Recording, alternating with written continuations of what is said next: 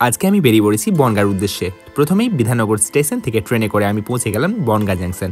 Bongaon junction থেকে আমি পরে চলে গেলাম সাত ভাই কালীতলা মন্দিরের কাছে আর সেটা দেখার পর ইন্ডিয়া বাংলাদেশ সীমান্তে অবস্থিত রেল ব্রিজ দেখে আমি পৌঁছে গেলাম বিভূতিভূষণ ঘাটের পাশে অবস্থিত ঝুলন্ত সেতুর কাছে।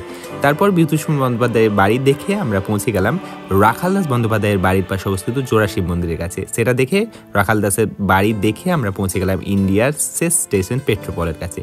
এই পেট্রোপল দেখার পর আমরা বাড়ির জন্য রওনা দিলাম। তো আমরা যখন বাড়ি যাই তোমরা ততক্ষণ চ্যানেলটিকে সাবস্ক্রাইব করো বাই।